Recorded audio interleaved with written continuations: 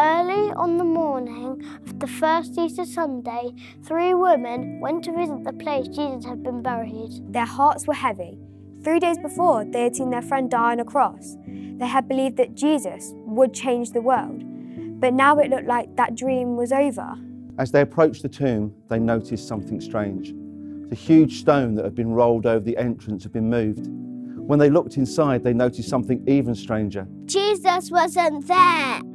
Suddenly the tomb was filled with light, and the angel of the Lord appeared. Do not be afraid, the angel said. Jesus is not here anymore. Tombs are no place for the living, and Jesus is very much alive. He has risen. Death picked the wrong person this time. Their hearts leapt at the news. Jesus was alive. They raced off to share this world changing news, and it wasn't long before they ran straight into Jesus. There he was. The man who had been killed three days ago was alive again. They could talk with him, walk with him, and even touch him. And as they looked at Jesus, it was as if they were seeing him clearly for the first time. This was the man they knew, but he was so much more than just a man. He was God. God was stood before them. God's rescue was complete. God's people would never be slaves again.